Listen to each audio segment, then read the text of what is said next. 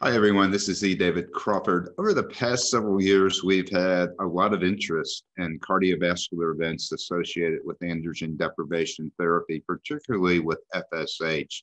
Joining me is an international researcher in the area, Dr. Dan Kelly, who is with the University of Sheffield in the UK. He is going to share with us some of his work with cardiovascular disease with uh, low testosterone and related androgen deprivation therapy. Dan, thanks for uh, sharing this with our audience today.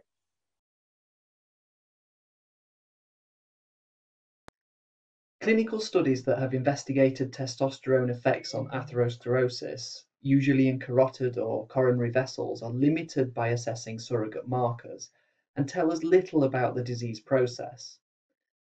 These studies have often demonstrated contradictory results, with several showing negative, a negative correlation between serum testosterone and carotid intima-media thickness. The Basaria study finding no effective testosterone treatment over three years in the TEAMS trial, and more recently, an increase in non calcified plaque volume in coronary arteries of low testosterone men receiving um, 12 months of testosterone therapy.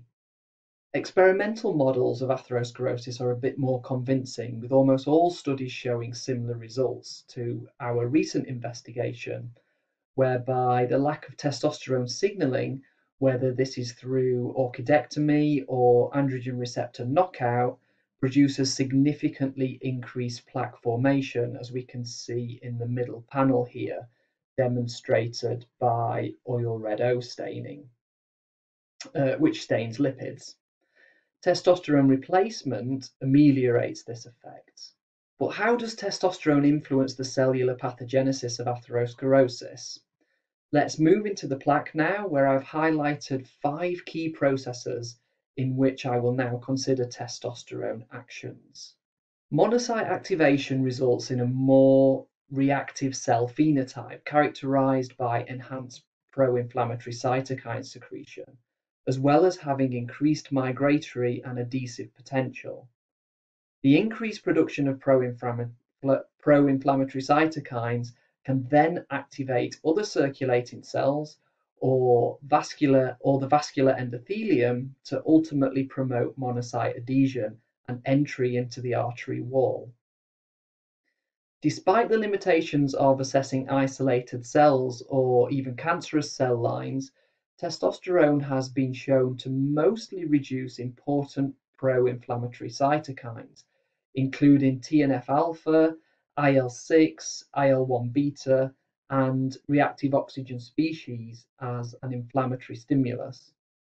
And this was found in various monocyte cell types and with or without prior inflammatory stimulation.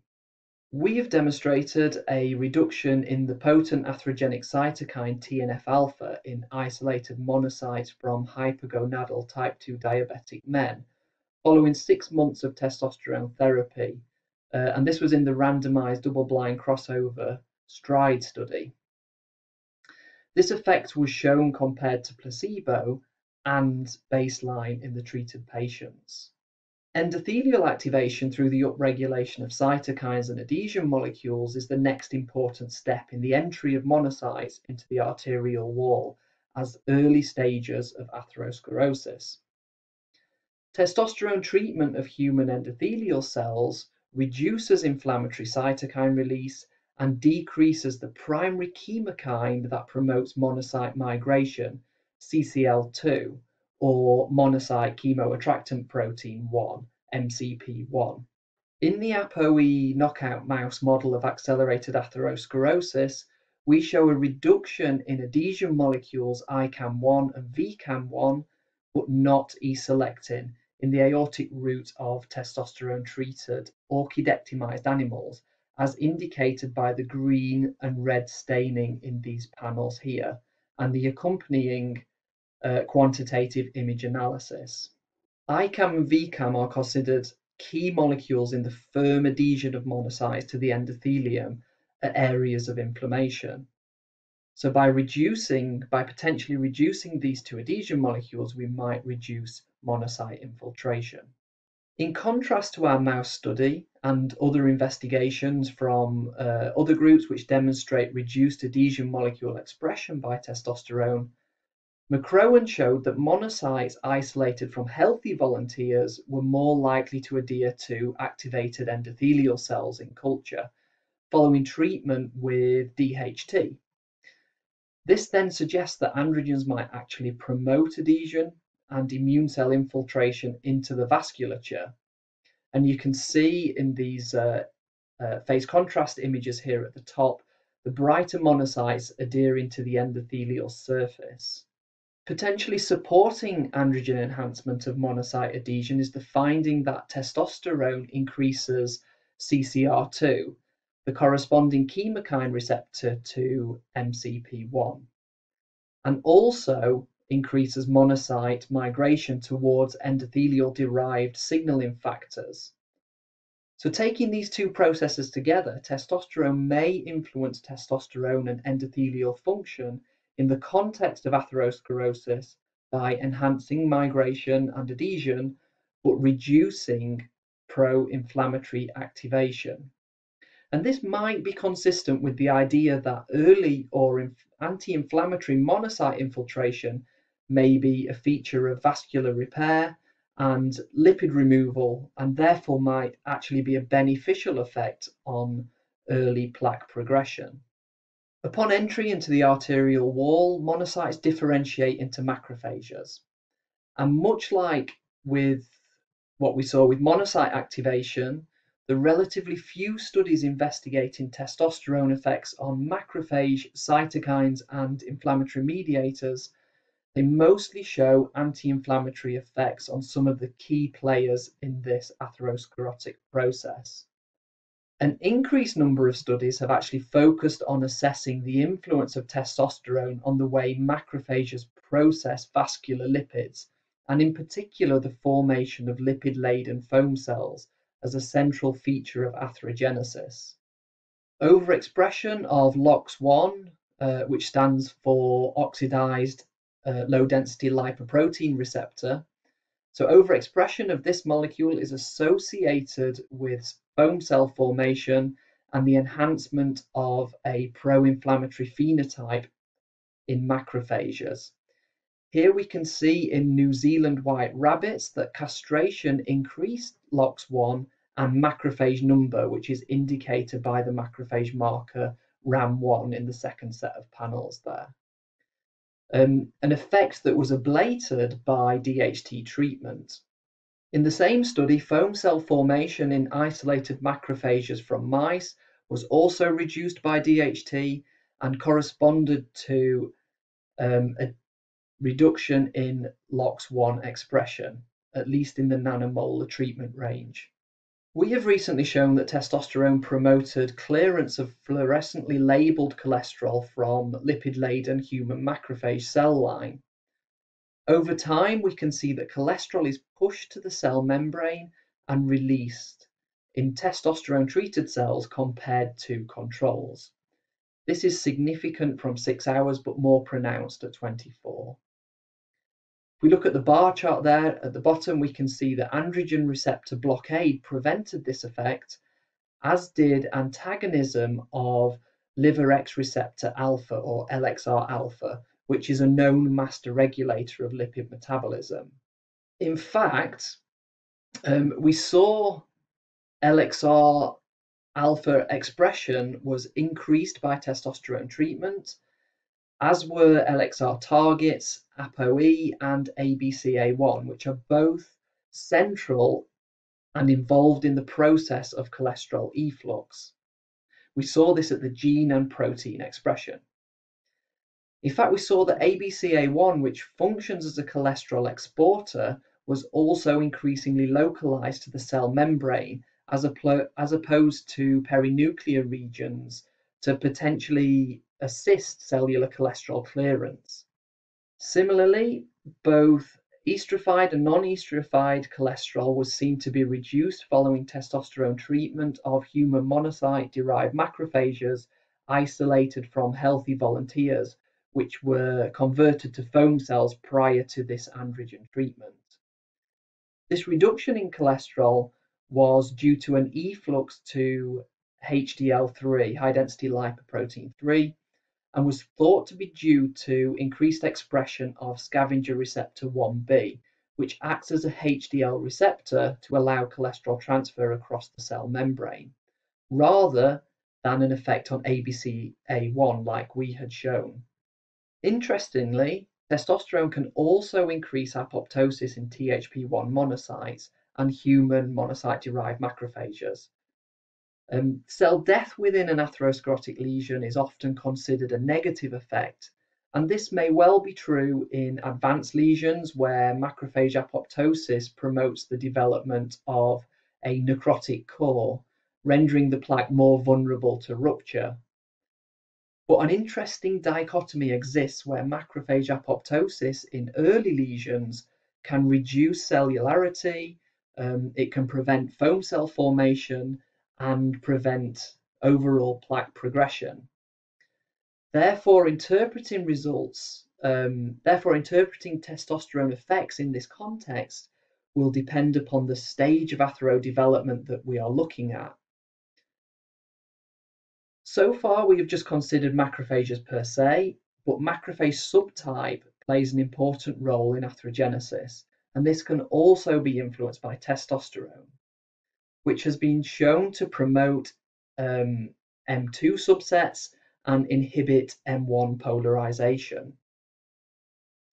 Broadly speaking, the original M0 macrophage that entered the arterial wall originally as a monocyte and then underwent transformation into an initial M0 macrophage subtype, this macrophage can differentiate into either M1 or M2 subsets. M2 macrophages are considered atheroprotective, predominating in the early stages of atherosclerosis and can reduce plaque development. They're characterized by anti-inflammatory cytokine IL-10 secretion and they are known to accumulate smaller quantities of lipid, processing it for reverse cholesterol transport.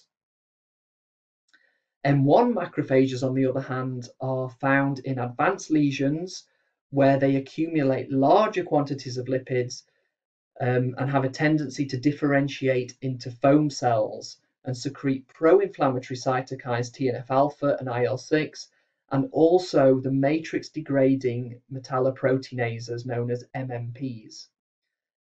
These exacerbate and destabilize the lesion by breaking down um, extracellular matrix components.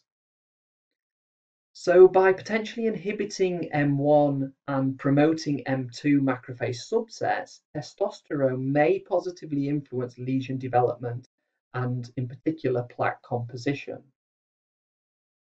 When it comes to plaque composition, we saw in our ApoE knockout mice that orchidectomized mice had fewer strength-giving smooth muscles throughout the plaque compared to sham-operated and testosterone-treated mice, as indicated by the red staining um, here. Uh, so it appears more dispersed throughout the lesions of our testosterone replete animals, as we can see. In fact, in orchidectomized mice, where we have this lack of smooth muscle cells in the lesion, there is an accompanying increase in monocytes and lipid, indicated by the green staining for the, uh, the pan macrophage marker MOMA2 and the oil red O lipid staining in the panel below. This accompanying increase in monocytes and lipids um, is indicative of a more mature plaque. So there appears to be testosterone-induced differences in the composition of atherosclerotic lesions, although in line with some of those earlier clinical studies we looked at, we actually saw no difference in the total plaque area or the plaque volume in these mice across the different treatment groups. Um, matrix metalloproteinase 13 or MMP13, which degrades plaque collagen, appeared to be slightly increased in low testosterone mice, but this was then not reflected in the assessment of um, lesion collagen content by the blue in the Masson's trichrome histology staining uh, in the panels at the bottom there. It's also worth noting here that testosterone has been shown to inhibit MMP1, which has fibrolytic activity, although this was shown in a different cell type and a different model system. So by potentially inhibiting MMPs, testosterone may preserve plaque structure and reduce vulnerability of that plaque to rupture.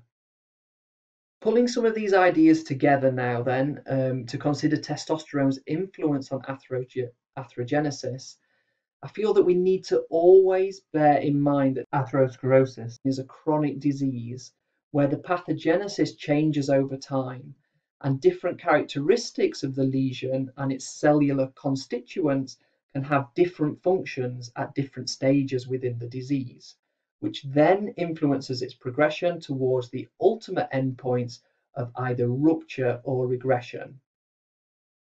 Clinically and experimentally, we tend to investigate atherosclerotic plaques in these stages, so challenging some of our existing beliefs when interpreting results is, uh, in my opinion, worthwhile. So, for example, increased plaque volume may actually be beneficial if that plaque volume is a result of remodeling to provide structure in later stages, or if that increased volume is made up of primarily anti-inflammatory immune cells. Increased macrophage apoptosis can be beneficial in specific situations to reduce inflammatory cellularity, prevent foam cell formation, and prevent plaque progression. Increased inflammation can be a good thing if it is controlled by a balance with anti-inflammatory regulators.